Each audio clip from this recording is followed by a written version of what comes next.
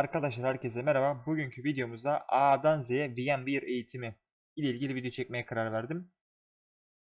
Daha önce farklı farklı videolar çekmiştim. Hepsini bir yerde toplayıp tek video olarak bir daha çekmek istiyorum. Bir de anlatmadığım birkaç şey vardı. Onu da videoya dahil edeceğim. İlk öncelikle VMware nedir? Ee, onu açıklayayım. VMware 1998 yılında 5 farklı BT uzmanı tarafından kurulmuştur. VMware sanallaştırma teknolojisi üzerine yazılımlar ve uygulamalar geliştiren bir yazılım şirketidir. Aynı zamanda server ve desktop yazılımları geliştirmektedir. VMware şirketi geliştirdiği yazılımlarla sanallaştırma endüstrisinde lider hale gelmiş, en çok tercih edilen şirketlerden bir tanesidir. Ürettiği sanallaştırma yazılımları, bilgisayarlarımızda kullandığımız masaüstü sürümler ve sunucu tarafından kullanıl kullanılanlar olmak üzere iki farklı kategoriye ayrılmaktadır. İlk öncelikle VMware indirmeden önce sunucularımızı oluşturmuş, oluşturmuş olduğumuz sanal sunucuları daha iyi kontrol etmek için VMware'in Remote Console eklentisini indirmemiz gerekiyor. VMware Remote Console Biz Windows kullanıyorsak Windows aynı zamanda Mac desteği de var. Burada ben daha önce indirmişim hazır olsun diye indirmiştim. Ben videonun altında da link ekleyeceğim. Oradan kolaylıkla indirebilirsiniz.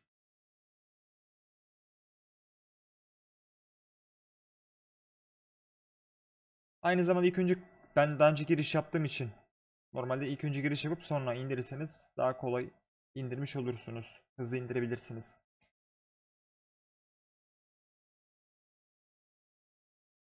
İlk öncelikle Remote Console yazılımımı kuruyorum.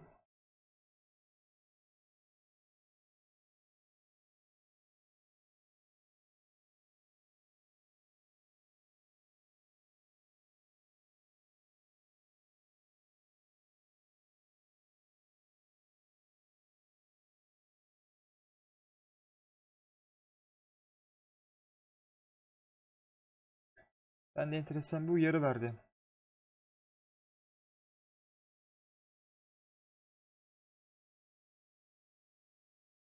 Tamam Aygor deyip devam edeyim.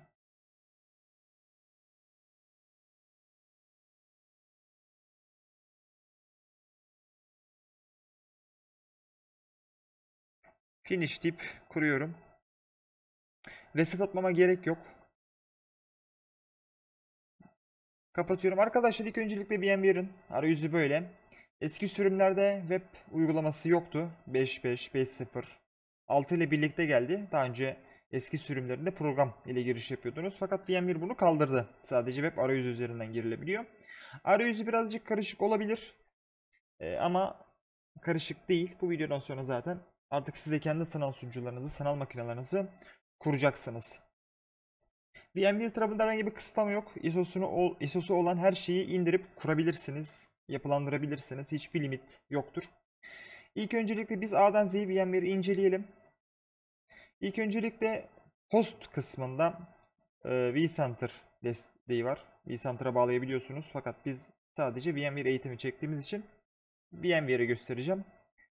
Buradan ya da Virtual Machine'e sağ tıklayıp makine oluşturabiliyorsunuz. Buradan makineyi kapatıyorsunuz. Buradan resetliyorsunuz. Buradan da aktif olan arayüzü yenileyebiliyorsunuz. Bazen arayüzde bir bug oluyor. Çünkü çok farklı kodlama türü olduğu için bazen kilitlenebiliyor. Burada ise SSH açabiliyorsunuz. Aynı şekilde diğer şeyler burada var. Bunları çok fazla anlatmama gerek yok. Çünkü çok işinize yaramayacak. Sonrasında manage üzerinden burada config dosyalarını yapılandırabiliyorsunuz.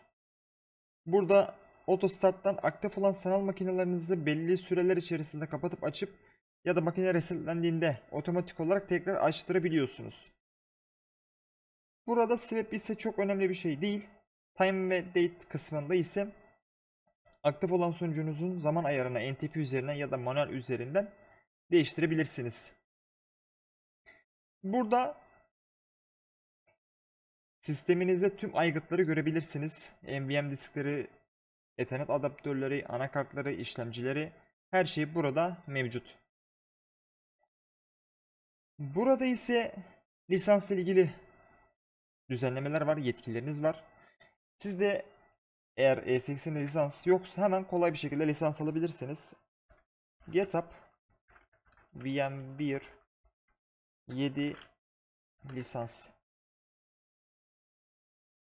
Biz host kısmında sizin şurada VMware versiyonunuz gözükür. 7.0 update 3 6 6 7 Bakalım işe yarayacak mı? Daha öncesinde ben kullanmıştım bir problem yoktu. Evet gördüğünüz üzere lisansım etkinleştirildi. Artık lisans olarak kullanabilirim. Eğer lisanslamazsanız 60 gün sonra makine kendini kapatır. Zaten GitHub VMware 7 lisans yazdığınız zaman GitHub sitelerinde lisansı kolayca bulabilirsiniz.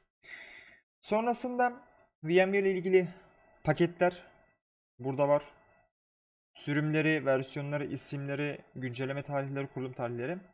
Burada ise VMware'ın tüm servislerini kapatıp açabilirsiniz. Ben çok fazla buradan kurcalamanızı önermem. Burada işinize yarayacak sadece SSH servisini açabilirsiniz. Bunu açtığınız zaman eğer 30 dakika içerisinde herhangi bir işlem yapmazsanız sanal mak- fiziksel makineniz kilitlenir. ESX kilitlenir. Siz şifreyi doğru yazsanız bile sizi güvenlik olarak içeri sokmaz. Makinenizi resetlemek zorunda kalırsınız. Burada biz kullanıcılarımıza şunu öneriyoruz. Eğer SSH servisi bir API ile ya da farklı bir şekilde bağlantı yapacaksanız mutlaka bu portu filtrelemeniz gerekiyor IP olarak. Yani sadece işlem yapacak IP adresini filtrelemeniz yeterlidir. Burada ise şifre değişiklikleri, sertif- sertifikalar ve roller mevcut. Burada aktif olan şifremi değiştirebilirim. İki kere yeni şifremi yazdığım zaman şifrem otomatik olarak değişir. Eski şifreme gerek yok. Sonrasında monitör üzerinde aktif olan sanal sunucularınızın CPU, memory, network ve disk kullanımlarını canlı olarak görebilirsiniz. Aktif olan sunucunuzun hardware'larının sıcaklıklarını, kullandıkları elektrik wattlarını vesaire şekillerini hepsini görebilirsiniz. Burada ise makinenizin eventları var. Yani ne yapmış, ne etmiş, kendi içerisinde ne yapmış bunları buradan görebilirsiniz. Örnek olarak ben buradaki lisansımı güncellemişim. Task'ta ise normal olarak aktif olan sanal sunucuları ne zaman açmışsınız, ne zaman silmişsiniz, ne zaman üzerine düzenleme yapmışsınız buradan görebilirsiniz. Aynı şekilde burada da aktif olan sanal sunucularınızın, daha doğrusu fiziki makinelerinizin hangi dizinde log dosyaları var buradan canlı olarak görüp kendi bilgisayarınıza indirebilirsiniz. FTP dizinleri burada yer alıyor. Burada ise bildirimler var. VMware üzerindeymiş ki bu da bir hemen çevirelim. İngilizcem çok iyi değil. Bu ana bilgisayar CVE 2018 3646 açıkla, açıklanan sorunlarla karşı potansiyel olarak savunmasızdır gibisinden. Ee, şunu da söyleyeyim bu zamanlarda alt 7 ve 6.7 ve alt sürümlerde bir güvenlik açığı çıktı. Ne yazık ki İranlı hacker grupları bu VMware sunucularını hackliyor. Uzaktan bağlanıp kod yürütüp içerisinde bir adet PFSense, sunucusu kurup sanal makinelerinizin hepsini siliyor. VMware tarafını eğer network yönetim elinizdeyse IP adresinizi mutlaka dışarıya kapatmanızı ya da lokal IP kullanarak VPN ile giriş yapmanızı önerebilirim. Sonrasında sanal makine hocam ben ekstra disk taktım. Bu ekstra disk burada gözükmüyor. Derseniz buradan New Storage kısmına gelip burada benim diskim gözükmüyor. Eğer burada disk gözükmüyorsa adaptör kısmından burada diskim gözükür. Burada gözüküyorsa buradan bunu temizliyorum. Çünkü içerisinde veri olduğu için gözükmüyor olabilir. Ya da aktif olan sürüm desteği yoktur. vCenter kullanıyorsanız oradan da ekleyebilirsiniz. Gördüğünüz üzere diskim gözüktü. NVMe diskim var. Hiç ayar yapmadan finish diyorum. Gördüğünüz üzere diskim iki tane oldu. Burada SAS diskim var. Burada da SSD NVMe diskim var. Burada disk modellerinizin seri marka modelini ve seri kodlarını görebilirsiniz. Yapacağınız işlemi ona göre yaparsanız birden fazla aynı şekilde disk varsa buradan disk detaylarınızı görebilirsiniz. Burada ise aktif olan bir network yapılandırma ayarlarınız var. Eğer VMware'i tam bilmiyorsanız network kısmına pek girmemenizi öneririm. Şimdi biz ufaktan bir sanal sunucu oluşturalım. Sanal sunucu üzerinde anlatmam gereken birkaç şey var. İlk öncelikle biz Windows mu kuracağız yoksa Linux dağıtımlarını mı kuracağız? İlk öncelikle Windows'tan başlayalım. Windows 10 deneme. Windows ben Windows 10 kuracağım. 64 bit. Enable Windows Virtualization güvenliğini aktif ediyorum. Hangi diski kurmam gerektiğini söylüyor. Tabii ki de NVMe kuracağım hızlı olması için. Burada yaklaşık bizim makinemizde 40 adet çekirdek var. Tabii ki bunlar sanallarla birlikte. Fiziksel 10-10. Toplamda çift işlemcim var. Hemen şunu da göstereyim. Host üzerinde aktif olan makinenizin ismi, modeli, işlemcisi, RAM miktarı, DNS sunucusu ve IP adreslerini buradan görebilirsiniz. Buradan BIOS sürümlerini vesaire görebilirsiniz. Burada da ESX sürümünüzü görebilirsiniz. Şimdi tekrar Virtual Machines'e geçiyorum.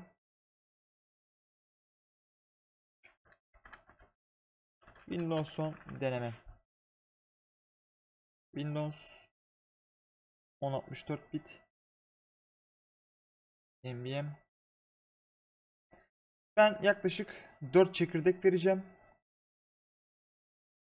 8 GB RAM vereceğim. Burada da 150 GB SSD vereceğim. Fakat burada yapmamız gereken bir şey var.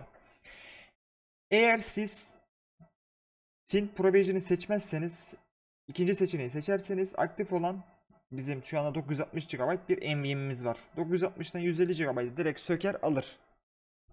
Ama siz Tint Provision'ı seçerseniz 150 GB değil, makineniz ne kadar kullanırsa o kadarını alır. İhtiyacı kadar alır. Az yetinmeyi bilir. Diyebiliriz. Biz her zaman Team Provisioned olanı seçmenizi öneririz. Host Davis kısmında aktif olan benim ISO'larım var. Ama ben şu an ISO yüklemedim. Bunu hemen Host Davis'ten şey yapacağım. Burada ekstra bir işlem yapmam şu için gerekmiyor. ISO'yu sonradan okutacağım. Finish diyorum. ISO'yu da nasıl upload edeceğim bunu da göstereyim. Bunu göstermeyi unuttum. İlk önce diskime geliyorum. Şöyle şöyle yapalım. Data Store, Data Store 1, Data Store Browser, Upload. Benim masa üstümde ISO adlı klasörlerim var. İlk öncelikle Windows'u yükleyeyim.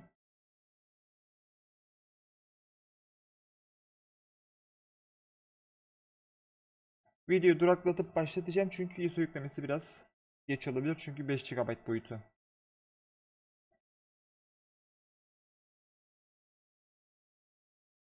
Windows ISO'm yüklendi.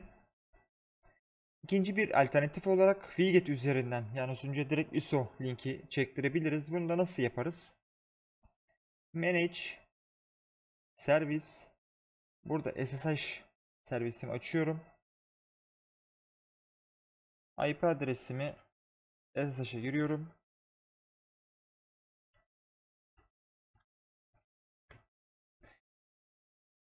Burada biz storage dizinimizi bulmamız gerekiyor. Ona da şöyle yapacağız.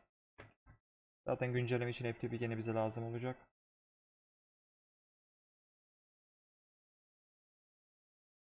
Şöyle kapıya 22 yazmayı unuttum. Burada VMFS Volumes Data Store 1 şöyle yapalım. ISO diye bir klasör oluşturuyorum. Bunu da taşıyorum. Üstteki uzak site kısmını kopyaladım. CD bu düzene giriş yapıyorum. Eğer elinizde ISO linki olabilecek yer varsa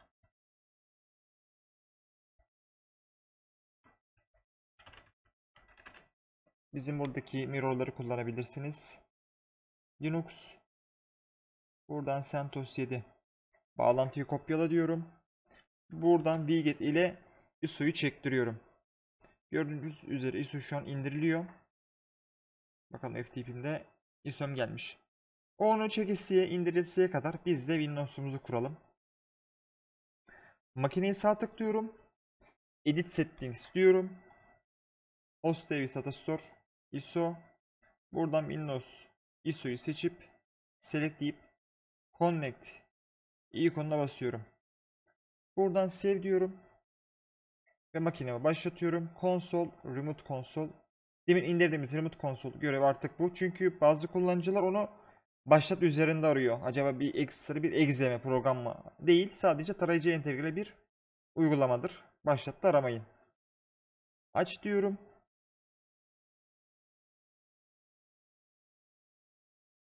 Sertifikalarımı kabul ettim. Eğer boot kısmı gelmezse 3 tane tuğlaya basıp tekrar şey yapabilirsiniz. Eğer tekrar gelmezse hemen şöyle connectleyip ISO'yu mount edebilirsiniz. Herhangi bir düğmeye basın diyor. Bastım. Ve Windows kurulumum başlıyor. İstiyorsanız evinizde fazla bir masaüstü bilgisayar varsa onu da aynı şekilde ESX Group sanallaştırma yapabilirsiniz. Eğer düşük çok düşük özelliklerde değilse minimum 16 GB RAM, 300-500 GB disk ortalama bir işlemciyle iş görebilir.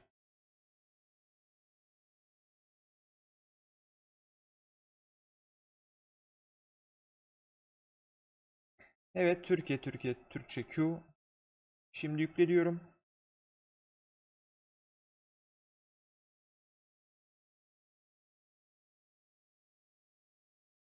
Windows makinem kurulduktan sonra birkaç işlem yapacağım. Onu da mutlaka sizin yapmanızı öneririm.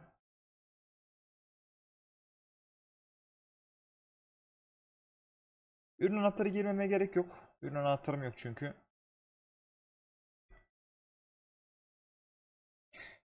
Eğer bu sunucuyu test ortamında kullanacaksanız Windows 10 Home yeterlidir. Ama hocam ben bunu uzak masaüstü olarak kullanacağım diyorsanız mutlaka Windows 10 Pro'yu seçmelisiniz. Çünkü Home kısmında uzak masaüstü bağlantı desteği yok. Yani uzaktan bağlanamazsınız.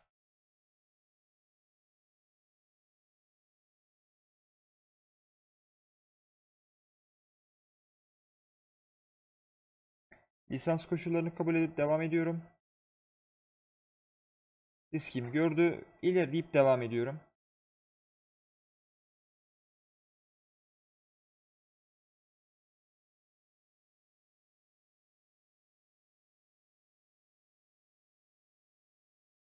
Şimdi bu makine kurulasıya bir makine daha oluşturup onun üzerinde de birkaç bir şey göstermek istiyorum size. New Virtual Machine, Create New Register. Buna, bu da bizim önemli bir sunucumuz olsun. Web sunucumuz olsun. Site barındıralım. Linux CentOS 7 devam ediyorum. SSD buna da 10 core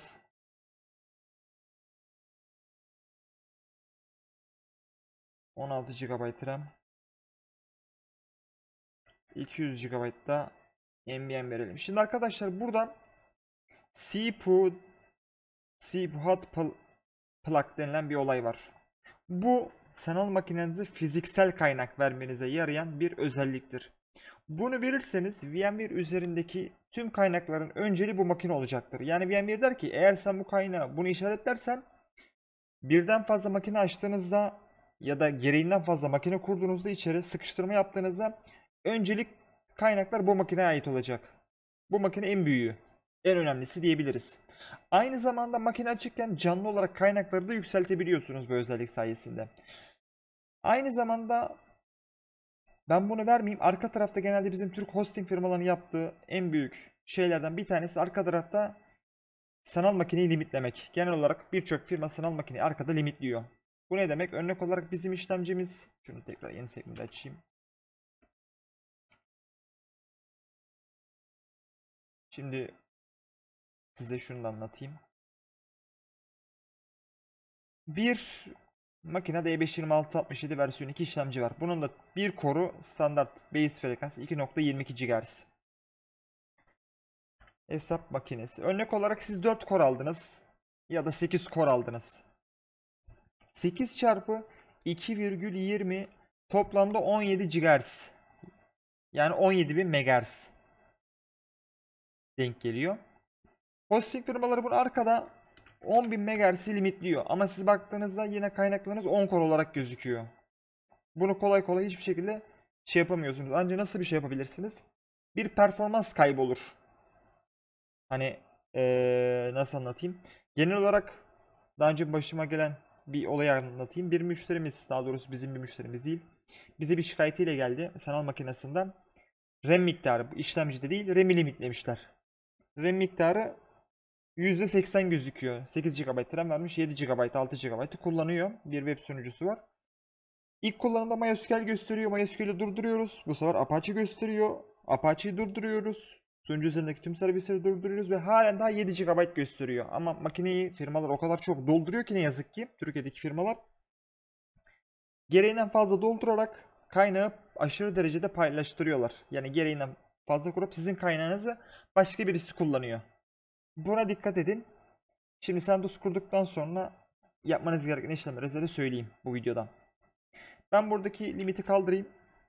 Biz de hosting firmalarına uymayalım. Memory'de de aynı şekilde memory hot plug ve CPU hot plug işaretledim. Diskim Tin Provision gene. ISO CentOS 7 ekstra bir işlem yapmama gerek yok. Aynı zamanda şunu da göstereyim. Bu makineyi sadece aktif olan kaynaklar dışında ekstra normal bir bilgisayar gibi network adaptörü, ekstra hard disk ya da bu şekilde birçok şey ekleyebiliyorsunuz.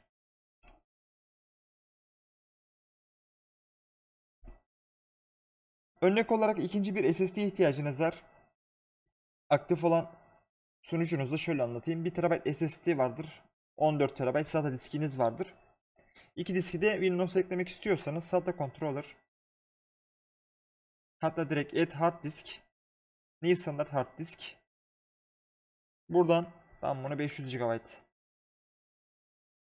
Burada Tin Provision Buradan Data Store kısmını seçiyorum. Yani ikinci diskim SAS disk, ana diskim NVMe disk olacak. SSD gördüğünüz üzere. Bu da standart SAS diskim. Yani indirme yükleme yapacağım. SSD Windows'ta çalışsın. Diğer ise yedeklemede. SATA diskim yedeklemede kullanması için. Next diyorum. Finish diyorum. Gördüğünüz üzere ikinci Linux sunucum geldi. Aynı şekilde bunu da konsola giriyorum. Şimdi ISO'mu indirdim. Ben SSH üzerinden bir veri çekeceğim. Yani bu SSH servisinin aktif kalması gerekiyor. Bir modül bağladım. Burada networking kısmına geliyoruz. Firewall rules kısmına giriş yapıyorum.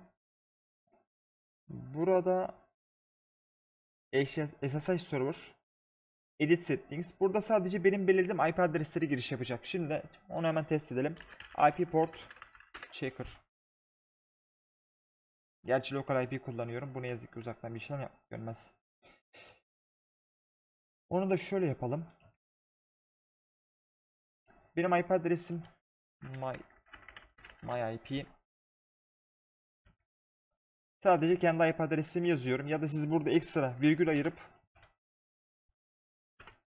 VPN işte farklı bir uzak masaüstü bağlan masaüstü sunucunuz olabilir, VPN'iniz olabilir, proxy'niz olabilir, başka bir bilgisayarınız olabilir, ofisinizdeki, evinizdeki. Buraya IP adreslerinizi girdiğiniz zaman artık SSH sunucusuna sadece benim IP adresim bağlanacak. Diğer IP adresleri bağlanamayacak. Şimdi ben lokalden girdiğim için muhtemelen beni şey yapabilir. Ben buraya lokal IP'mi de yazayım. Public kullanıyorsanız ya da sunucunuz varsa direkt işe yarayacaktır. Bir problem yaşamayalım. Virgül Tamamdır.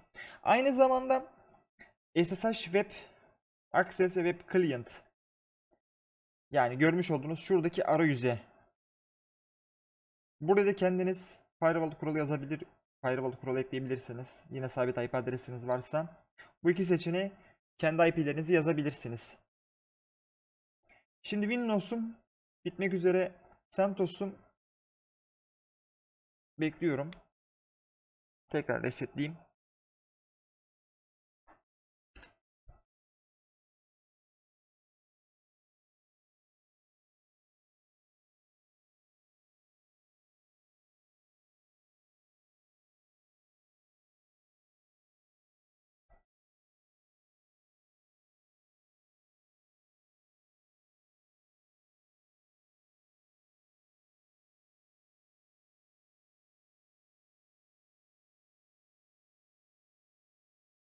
Ben sadece göstermelik olarak en çok kullanılan işletim sistemlerini söyledim, kurdum.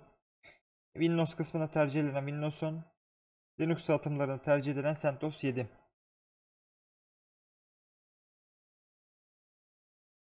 Bu aşağıda kalsın. Şuna başlayalım. Her zaman İngilizce kurmanızı öneririm. Çünkü bir hata olduğunda, problem olduğunda İngilizce kaynaklarda dokümantasyon daha çok Translate'den yaparsanız bir kelime değişimi üzerine yanlış işlemler yapıp makinenizi uçurabilirsiniz. Date time Türkiye'yi seçiyorum. Buralar biraz geç gelebiliyor. Klavye olarak Türkçeyi seçiyorum. Evet, diğer firmaların yapmış olduğu en çok şeylerden bir tanesi de ne yazık ki disk tercihi yapılandırması. Genel olarak herkes burayı otomatik yapıp kayıt ediyor ama biz manuel standart partition olarak yapılmasını öngörüyoruz. Burayı standart partition home ve slash'ı siliyorum. Ana dizine. Yani 3 şekilde olacak. Sanal sunucularda. Fiziksel sunucularda boot UEFI diye seçenek gelecek. Biz sanal sunucu öğrettiğimiz için sadece sanal sunucu anlatayım. İlk öncelikle boot dediğimiz şey aslında kernellerin depolanması. Burası 1 GB yeterlidir. Swap alanı ise memo diskin memoriye dönüştürülme biçimidir. Geri kalanı biz ana dizine kurduk. Don deyip devam ediyorum. Network deyip configure. Normalde ben lokalde çalıştığım için otomatik IP alacak. Burası manuel. Et deyip işte örnek olarak 192.168.1.1 Bu sizin IP adresiniz neyse onu yazacaksınız. Netmask ve Gateway bilmiyorsanız bunu hosting sağlayıcılarınızdan talep edebilirsiniz.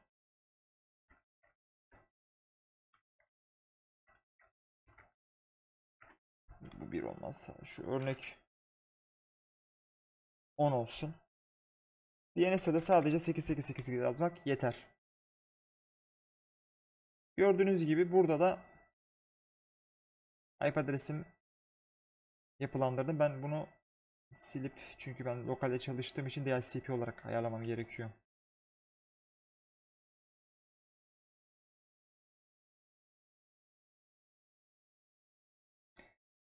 Don deyip devam ediyorum. Sunucu şifremi oluşturuyorum. Tekrar don deyip kuruluma bitmesini bekliyorum. Bir yandan diğer hemen Windows'a geçelim. Türkiye.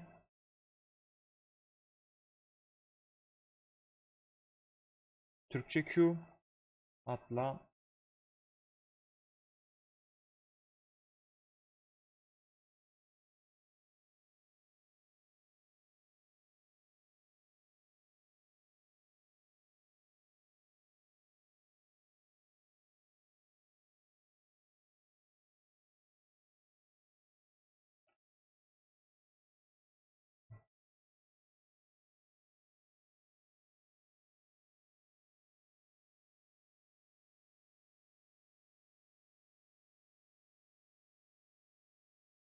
Kişisel deyip devam ediyorum. Çevrim dışı hesap diyorum.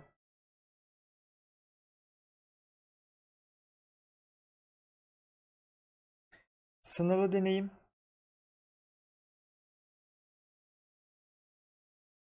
Kullanıcı adım admin olabilir unutmamak için. Burada şifreyi mutlaka belirlemeniz gerekiyor. Hocam ben şifresiz olarak girmek istiyorum derseniz uzak masaüstü bağlantısı bunu kabul etmez. Mutlaka şifre olması gerekir. Güvenlik sorusunu deneme 1 deneme 1 deneme 1 ip devam ediyorum.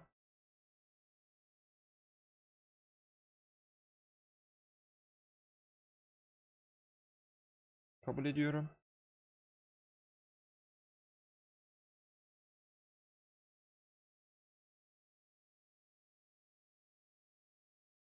CentOS kurulumda bitmek üzere. Şunu şöyle kenara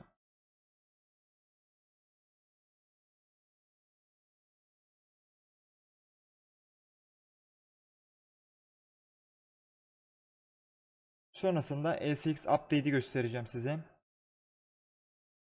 Aktif olan bir ESX sunucumuz nasıl güncellenir? Onu da göstereceğim.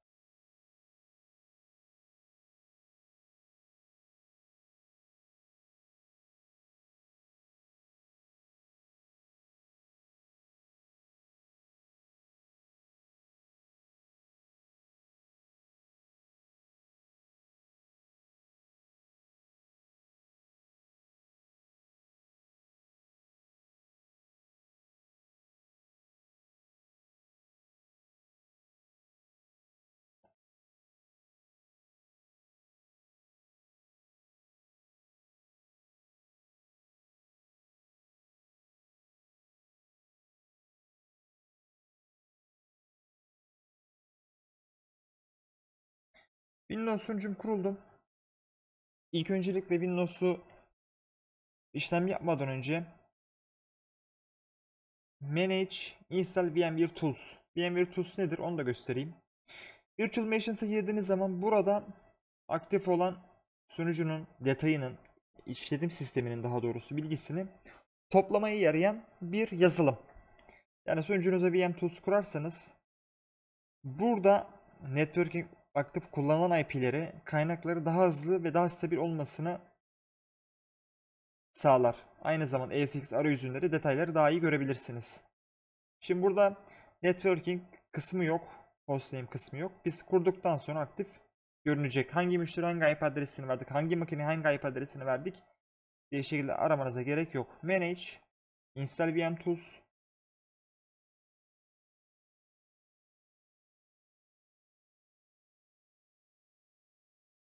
Evet diyorum. Aynı zamanda bu konsol birazcık daha akıcı olur.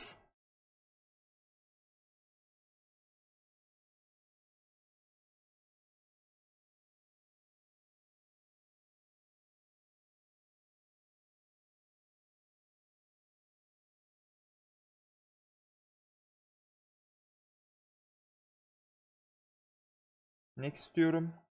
Hiçbir ayar yapmadan full next deyip kuracağım yazılımımı.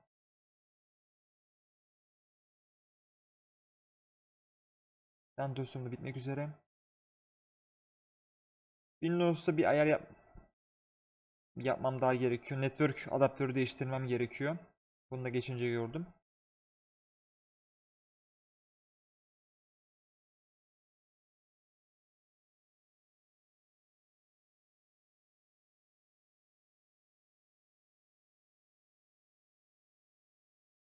Sunucumu da resetleyeyim CentOS'u. Şimdi gördüğünüz üzere sonra resetleyeceğim. Ekranım büyüdü ve mouse'um, konsoldaki mouse daha akıcı oldu. İlk öncelikle yapmanız gereken remote konsol yani uzak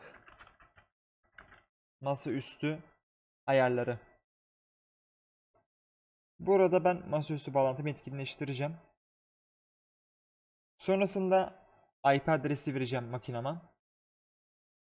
Static IP kullandığınız için sizin IP vermeniz gerekiyor. Özellikler deyip IPv4'ü buradan vereceksiniz. Ben şu an makinemi resetleyeceğim. VM Tools kurduğum için. Hatta kapatıp adaptörü değiştireceğim. Çünkü Windows kurarken şuradaki E1000 adaptör tipinde bir yazılımsal bug var. Biz genel olarak kullanıcılarımıza VMX Net 3 yeni nesil adaptör kurmalarını tavsiye ediyoruz. Hem daha güvenli hem daha sağlıklı E1000 olan adaptörlerde bazen internet problemi yaşanıyor.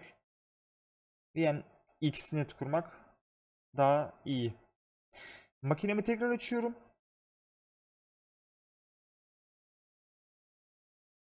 Buradan konsolum açıkmış. Şimdi uzak masaüstü bağlantısı yapacağım.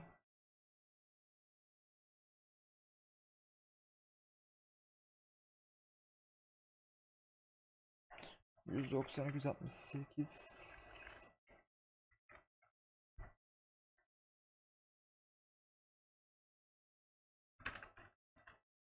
Oluşturduğum şifreyi giriyorum.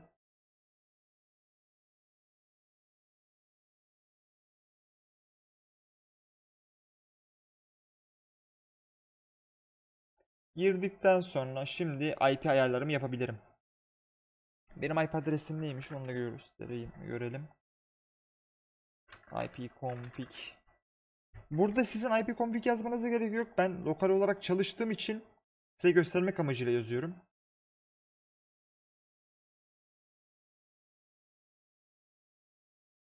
Yetmiş altı. Siz buraya hosting firmanızın vermiş olduğu IP'yi gireceksiniz.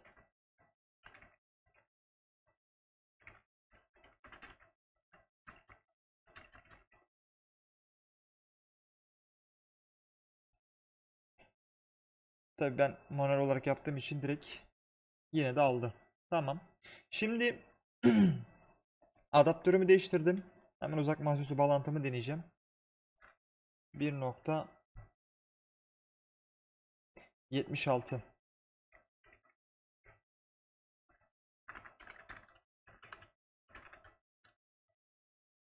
Administratör değil, admindim.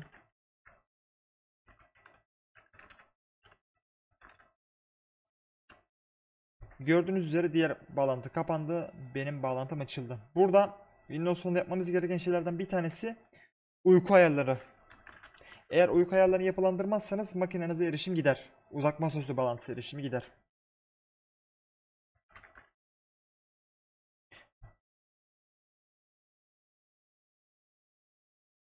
Burası gözükmüyorsa biraz geç gelebiliyor burası. Şöyle bu bilgisayar özelliklerden denetim masasına girebilirsiniz. Sistem ve güvenlik, güç seçenekleri. Burada gördüğünüz üzere iki tane ayar var. Hiçbir zaman hiçbir zaman değişiklikleri kayıt ediyorum. Ve artık uzak masaüstü bağlantım kullanıma hazır. Bir de şöyle bir şey vardı. İkinci olan diskimi de VMware üzerinden şey yapayım, yapılandırayım. Gördüğünüz üzere hostname ve IP adreslerim burada gözükmeye başladı. Şimdi ben bu makineyi hiç kapatmadan ekstra bir disk ekleyeceğim. Add hard disk 200 GB SAS diskimden vereceğim. Burada ise lokasyonu data store save diyorum. Tekrar uzak masaüstü bağlantıma geliyorum. Buradan da bilgisayar yönetimi direkt bulacak mı? Bulmadı. Baş ha. Aynen direkt buldu tamam. Burada göstermiyormuş ama geliyor.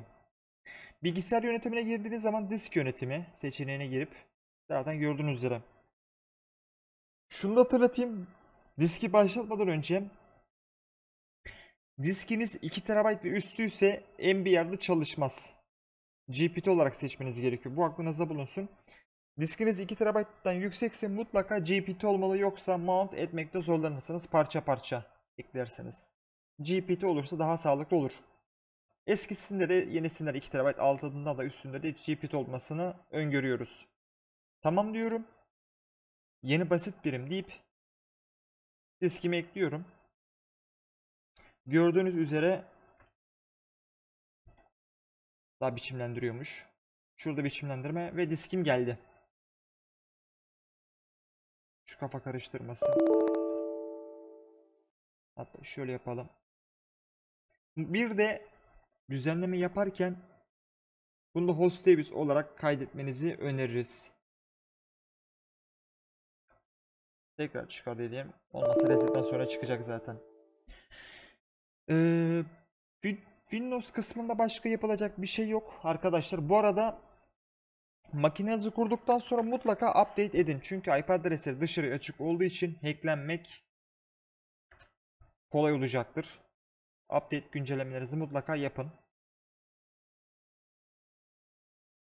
Yani herhangi bir firmadan bir Windows sunucu kiraladığınızda update'lerinizi yani makinenizde yapacağınız şeylerden bir tanesi update ve ikincisi şifrenizi değiştirin. Hosting firmalarının verdiği şifreleri asla kullanmayın. Çünkü firmalarınız sizden izinsiz sunucunuza girebilir. Firmanız hacklenirse aktif olan saldırgan datayı çekip sunucunuza girebilir. Mutlaka sunucu şifrenizi değiştirin. Bu güncellesin. Ben CentOS'uma gireyim. CentOS'uma girdikten sonra root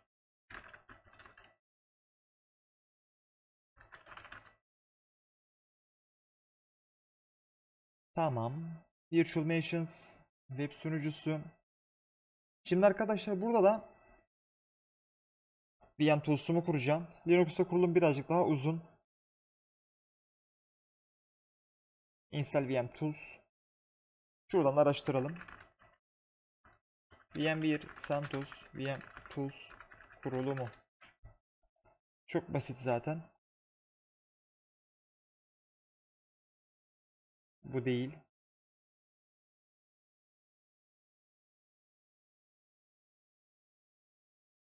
Şöyle yan monitörümden bakayım. Makalesi bende vardı.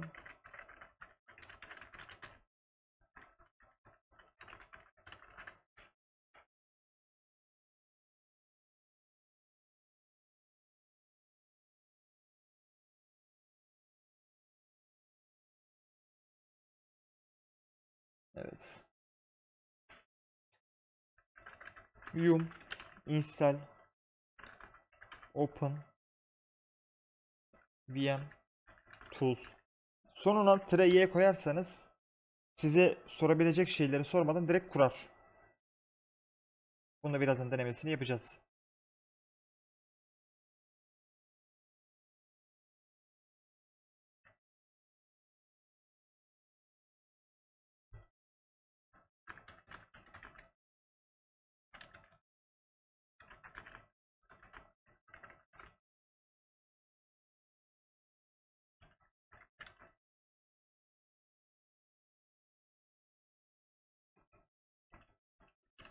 Şimdi aktif olan servislerimi startlıyorum.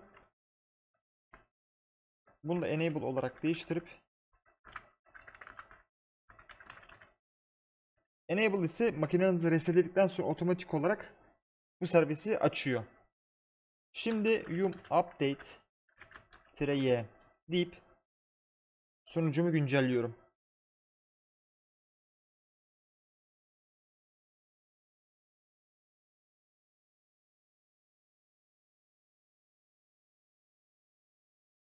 Evet burada da IP adresim gelmiş. Hemen şöyle SSH'dan da gireyim.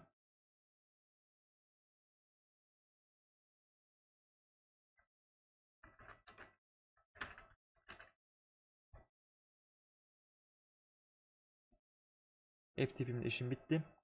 Hatta bitmedi ama kapattım. Şu arkadaşlar güncelleme yapsın. Bazen eğer işletim sistemi çok eskiyse güncellemesi biraz uzun sürüyor. Ben videoyu duraklatıp tekrar başlatacağım. Arkadaşlar sunucumuz güncellendi. Reboot komutuyla sunucumuzu yeniden başlatıyoruz. Enter diyorum. Hızlı bir şekilde başlaması için.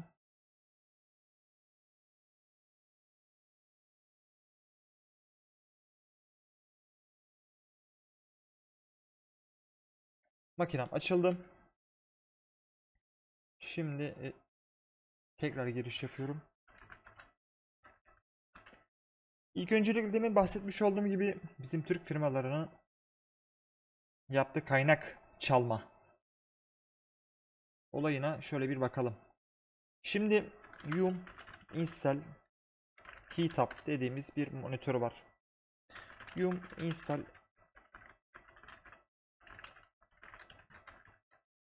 Şöyle tire'ye koymazsanız ne olur onu da gösterecektim.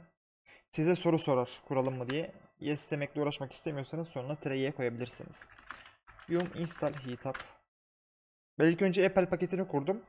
Heatup da Apple paketine bağlı olduğu için sonra Heatup'ı kurdum. Sonrasında Heatup basarak sunucumuza ne kadar RAM var? Kaç çekirdek vermişiz? Ona bakacağım. Şimdi yaklaşık bizim 16 GB RAM'imiz var. 400 MB'ını kullanıyor. Ve 10 çekirdeğimiz var. Gelin biz bunu arka tarafta limitleyelim. Arka taraftan malı çalalım. Limit kısmına biz 5000 yani toplamda 2 GHz 2 çekirdeği aslında biz bunu düşürmüş olduk arka tarafta. Gördüğünüz üzere makinede gene hatta şey yapalım reboot atalım tekrar bakalım. Sonrasında bir karışıklık olmasın. İnanmayanlar vesaire olursa diye.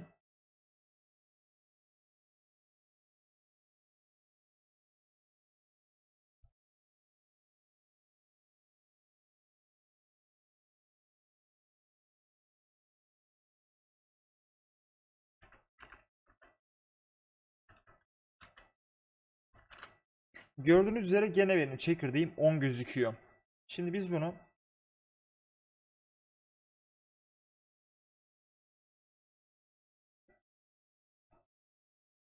tekrar eski haline getirelim.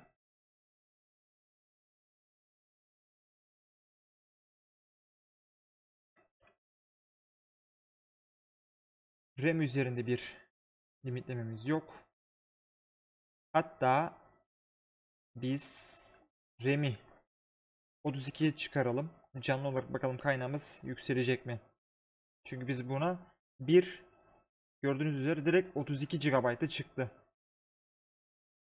Biz bu makine için demiştik ki eğer sanal makineler çok kaynak tüketirse ve sıkışma olursa ilk kaynağı web sunucusuna ayır gibisinden biz talimat verdik. Gördüğünüz üzere kaynağım direkt olarak canlı şekilde makineyi kapatıp açmadan 32 GB yükseltmiş oldum.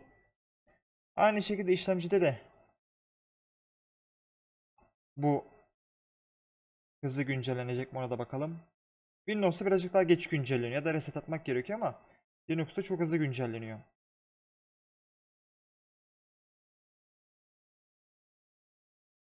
Heatup'ı kapatıp açalım. Evet gördüğünüz üzere Heatup'ta direkt güncellendi. Toplamda 16 çekirdeğim oldu. Gerçekten 16 mı vermişiz? Bakalım. Evet gerçekten 16 vermişiz. Şimdi aktif olan Santos'ta bir disk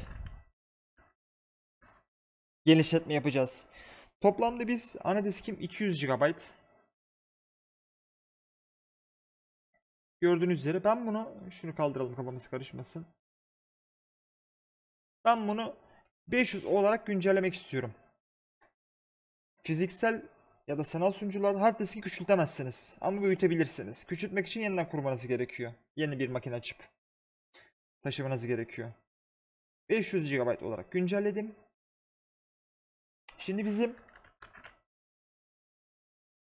forumumuzda şirketimizin forumunda şöyle grow party yazsam çıkar. Aynen. İlk öncelikle makineyi kapatmadan önce tüm donanımları yeniden taratıyorum bu komutla. Grow part bileşenimi kuruyorum.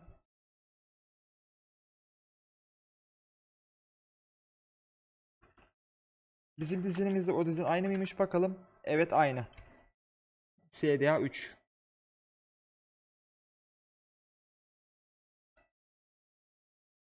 Diski genişlettik mount edip aktif olan diski de geliştirip onu da mount ettik. df-h gördüğünüz üzere diskim hiçbir şey kapatıp açmadan canlı olarak sanal makinamı genişlettim. Upgrade ettim.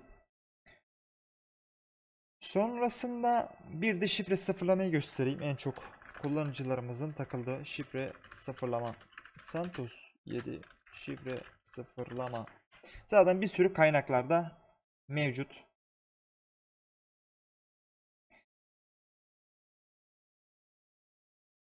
Yani mesela şöyle göstereyim.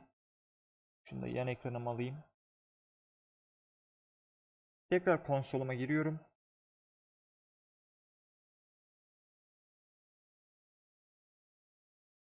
Çünkü CentOS şifresi unutulabilir. Hani Windows gibi değil. Makinemi resetliyorum.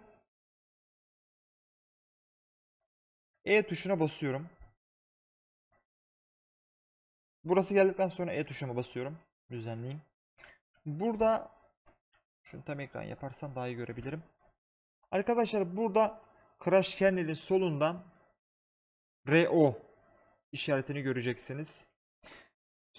Sol klavyenizin sol işaretine basıp gelebilirsiniz. Buraya biz silip R ve init Ee, şöyle bir şey var. Biz burada klavye Türkçe seçmemize rağmen burada klavye İngilizce oluyor. Bunu da size bildireceğim. Hangisi işaretlerin neresinde, hangi klavyeden ne tarafında diyeyim. R ve init eşittir. Eşittir de shift'in solundaki tire çizgisi. 1000 5 Pardon bu değil. Init cs root 1000 sh. Bunu yazdıktan sonra ctrl x'e basıyorum. Gördüğünüz üzere komut satırım geldim.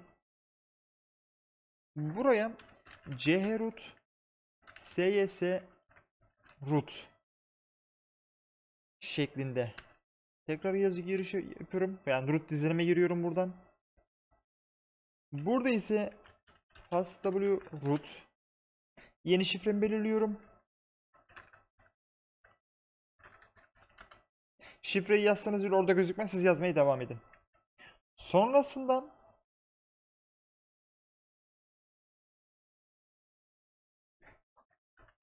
geçerli olması için şu komutumu giriyorum. Auto Relabel yazıyorum. Exit Reboot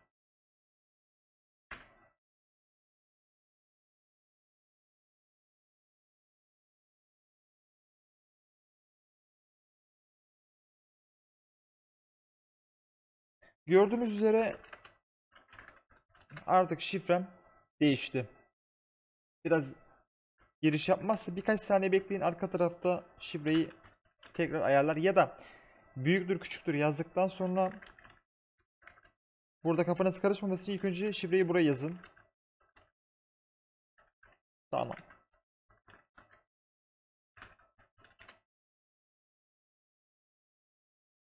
Ben şifreyi büyük ihtimal şöyle bir şey yaptım. Caps Lock karıştığı için küçük harfler büyük büyük harfler küçük oldu.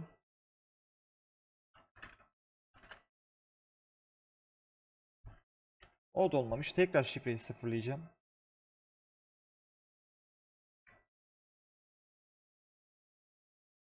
E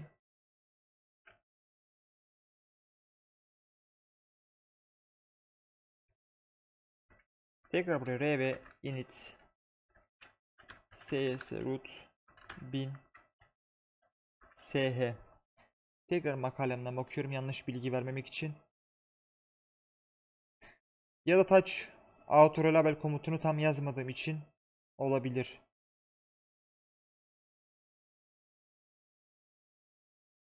Ctrl X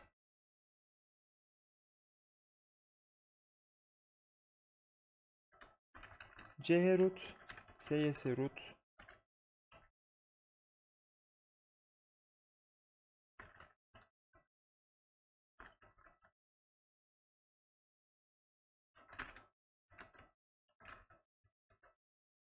Şifremi tekrar güncelledim.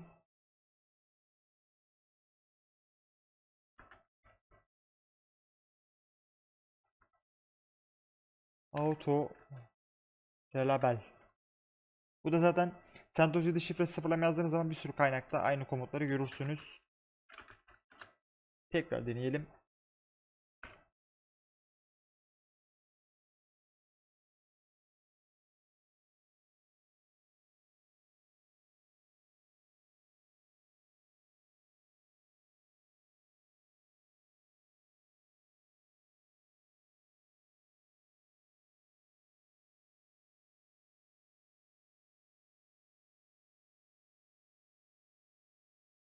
Burada biraz bekliyorsa arka tarafta şifreyi değiştiriyordur. Eğer web sunucunuzu kullanıyorsa bir kere daha reset atacaktır. Bu da aklınızda bulunsun.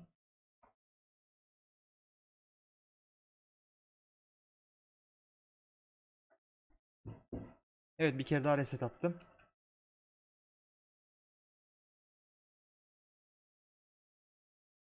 Büyük ihtimalle biz touch out rollabel'i yanlış yazdık. Root Gördüğünüz üzere şifrem artık sıfırlandı. Yeni şifremi güncelledim. CentOS üzerine arkadaşlar başka bir şey yok. Ee, anlatmak istediklerim bu kadardı.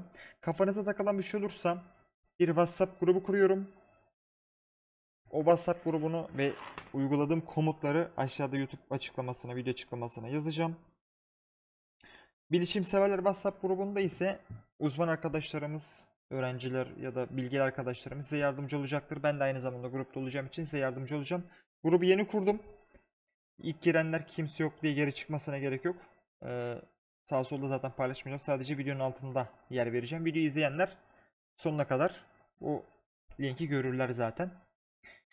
Ee, son olarak bir de update işlemi yapacaktım. Bakalım Windows Update, pardon özür dilerim. ESX Update. ESX Update. Şöyle Google'dan aratalım.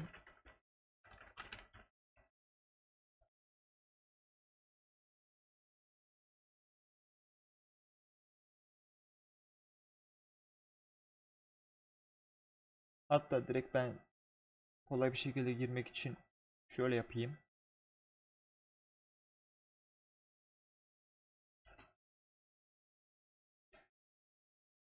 Burada tekrar giriş yapmam gerekiyor. Giriş yapmadan ne yazık ki indirtmiyor.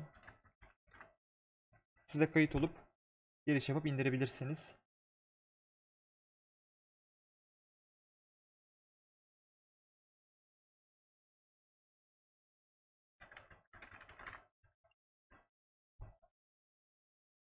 Tamam giriş yaptım. Burada ise benim sürümüm ESX Update 3 bakalım. Ben en son güncel sürümü kurdum çünkü bu video eskir diye. Onu da update etmesem bile mantığını göstereyim size.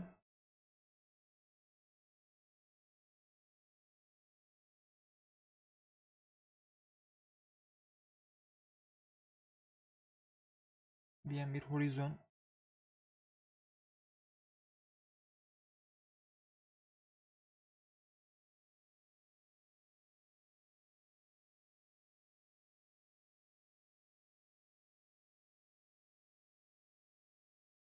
Şöyle arasak çıkar mı? Şöyle yapalım.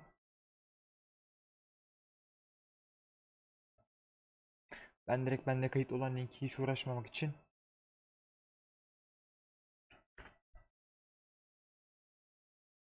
altı linki var. Şöyle Burada da 6.7 linkim varmış. 6.7'nin var.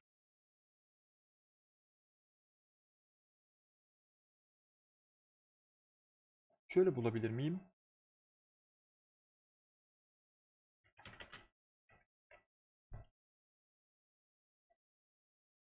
Gene uğraştıracak bizi. Offline bundle.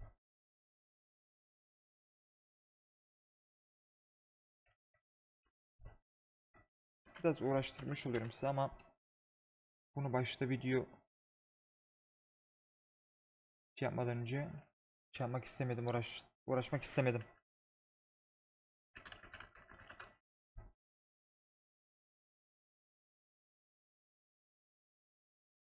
Evet buldum.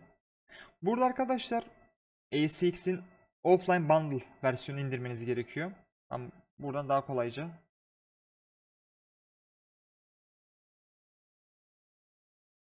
update edebiliyorum. Diğer arkadaşlar genelde CD ile update ediyor. Hiç gerek yok. Biz uzaktan update edeceğiz. Aynı şekilde gene FTP'me giriyorum. VMFS Volumes Data Store 1'in içine bu zip'i atacağım.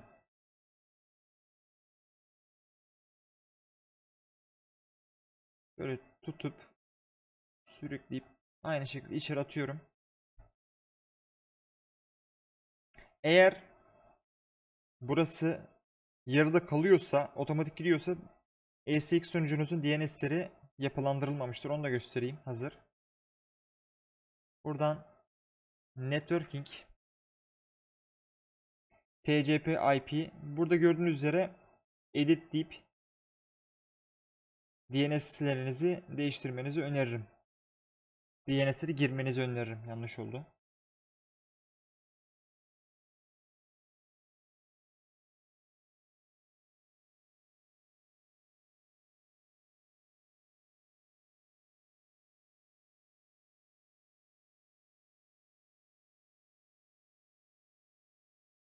Sonrasında ben komodumu hazırlayayım.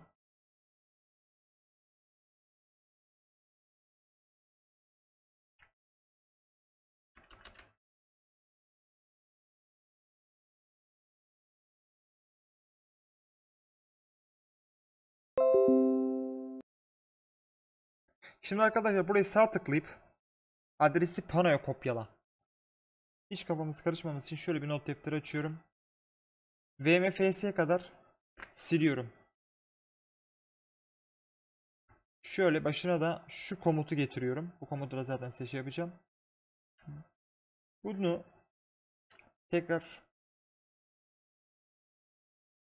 kutuya girmem gerekecek.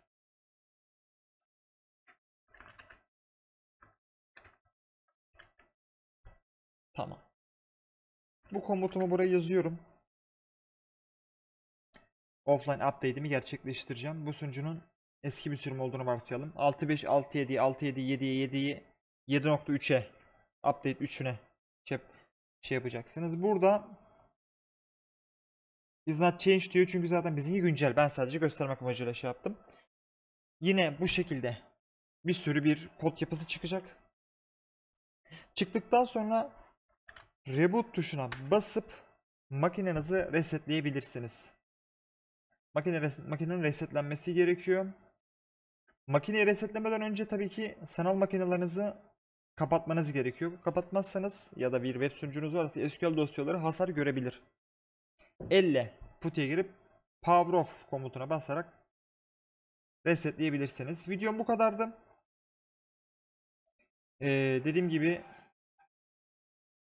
aklınıza takılan bir soru olursa videonun altına yorum yapabilirsiniz ya da WhatsApp grubundan benden ya da bilgili arkadaşlardan destek alabilirsiniz. Kendinize iyi bakın, hoşça kalın.